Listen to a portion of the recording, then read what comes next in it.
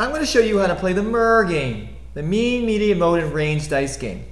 This game can be played in partners, groups, one-on-one. -on -one. um, this game is for two to four players. Before playing, decide whether you're playing for the lowest or highest score. Determine which player goes first by rolling the die or playing rock, paper, scissors. During play, you must play with five, six, or seven dice. The total of dice must change each time. So I'm going to play with five dice. Next time, I might play with six dice. After that, I might play with seven dice. And then I'd have to play with five again. I'm going to go ahead and roll my dice. Next, I'm going to have to put them in order from least to greatest. There we go.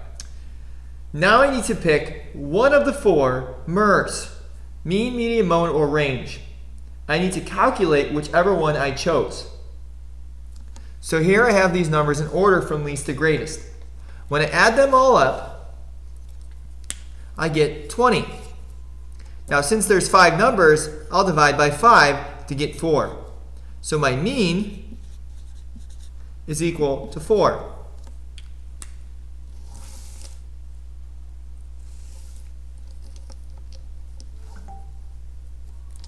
Let's go to number five. The MMMR you chose must be different each time. So this time I chose the mean. Next time I'll have to choose either the range, median, or mode. After I've picked all four, the rotation starts over. After each player has rolled 10 times, or 5 if we're short on time, the player with the highest or lowest score is the winner.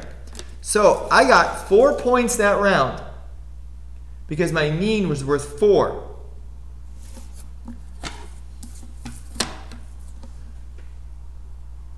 Now my turn is over and the next person will go.